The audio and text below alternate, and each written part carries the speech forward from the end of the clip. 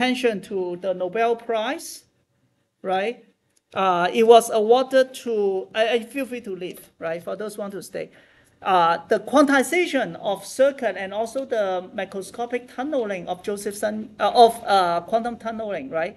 Um, so this we won't teach here, we won't, uh, we, we, we won't uh, test here, but I think it's good to review. The interesting thing is that when you cool down a LC tank, right, all the E student here, probably physics student know that also, right? Uh, if you have a resonator in which you have the uh, inductor and also a capacitor, the energy will convert from inductive energy to the capacitive energy store in electric field and then later convert to the magnetic field, right? And if you cool it to very, very low temperature, it is possible that you have either zero or only one unit of energy. We call it photon. Now, photon is light, right? You may get confused. We're talking about electrical circuit. How come you have photon? But do not forget, photon is just electromagnetic wave with a certain wavelength. Everything is electromagnetic wave. So that's why some people call it photon.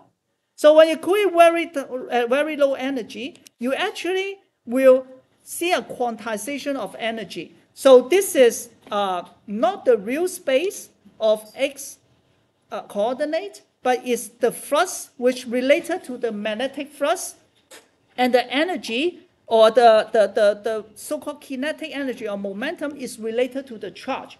So you don't know this in the future. If you take E uh, 274, you will learn a little bit. But anyway, just accept it. Uh, we also have a parabolic landscape.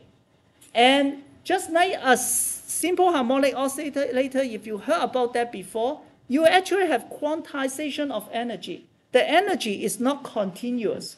So for each quantum of this, there is a, a, a certain, uh, you can have one unit of uh, energy, two unit or three unit of energy of the photon. So it's just like I have one zero photon, no photon here. But even if you don't have photon, you actually have energy. That is the interesting thing about uh, quantum mechanics. Because uh, like in vacuum, because of this finite fluctuation energy, it causes something very interesting. Instead of like it is not nothing. For example, it can generate electron hole pair, etc. Right? And uh, so this is the quantization. And another important thing about this um, Nobel Prize is that they show that it's possible to have macroscopic tunneling. So what does it mean? We, we accept that for an electron, very small object, it can tunnel through a barrier, right? But if I say I'm going to tunnel through this wall, no one will believe that because I probably even one trillion times I cannot go through this wall.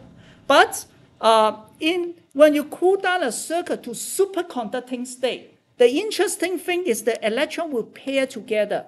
Electron are something called high-spin particle. They cannot exist with the same state, just like you learned from chemistry. Remember the Pauli exclusion principle? When you fill up the atom, you cannot have two electrons having the same state. That's why one S can only have two electrons, one spin up, one spin down. Then you need to go, go to the second shell right? They exclude each other. But light is different. Light is something called boson. That's why you have laser. All the lights have the same state, same phase, exactly the same. So it's like they're going together. Now, if you cool down a metal to very low temperature, it become a superconductor. You form something called Cooper pairs. So you can think of the two electrons with opposite spin, and momentum pair together, and they become one uh, something called Cooper pairs. And then it's just like the night, you can have exactly the same phase between the Cooper pairs. And you can then describe them by a phase factor. So this aluminum, uh, it's a macroscopic object. You can see it, hundreds of micron, micrometer. The, all the electron in this uh, aluminum, they are actually in phase. They are like a marching army. So you can treat them as a macroscopic object. And this is something called Josephson junction. From this one to here, you have an insulator, but the electron, the wave function can tunnel through it, right? So we are going too much, but basically here is show that it's just to show that this special uh, structure, which is superconductor, insulator superconductor, what we call it Josephson junction, have some very interesting thing. It behaves like an inductor, but it is a non-linear inductor. So earlier we say that I can quantize the LC tank, but this is not a good 2 qubit. Do you know why? You see that they all have the same level, same energy spacing. So while I have zero and one state, if I call this zero state, this is one state, I have two state also. And it is easy for the electron or, or the not electron for the system to go to a higher state. Then you exist the computation space. Right? We have been talking about zero and one, right? Then it's no longer a qubit. Now then with this Josephson junction, it also has inductance, right? We don't go to the details, but it is nonlinear.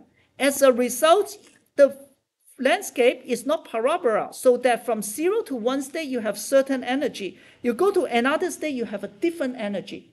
So then you won't be able to promote the electron to another level easily. So you confine it into the zero and one. And that becomes a very useful uh, qubit uh, uh, state. So uh, the Nobel Prize uh, in simplified term is that they demonstrate that these are just circuits. They just are some quantum circuits, right? Like this. As uh, microwave circuits that you study. And they show that they can quantize it. And they also this, show this macroscopic tunneling. And then this a regular electrical circuit can be used for quantum computing. Something like that. Okay? So I will stop here.